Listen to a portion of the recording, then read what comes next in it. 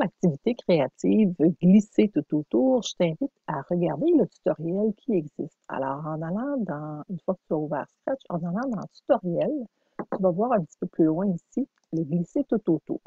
Alors, je te rappelle que tu n'as qu'à faire partir la vidéo. Ici, tu vas avoir euh, les exemples.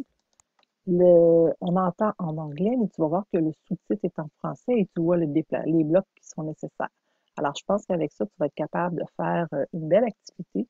Sinon, mais ben, je te montre un autre exemple de glisser.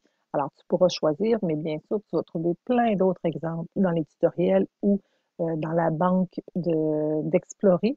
Alors, pour pouvoir trouver la banque d'Explorer, tu vas aller voir, par exemple, la page ici, et tu peux avoir la fonction Explorer, et tu peux marquer le mot que tu cherches et tu vas avoir plusieurs exemples de projets alors, ne te gêne pas pour faire preuve de créativité.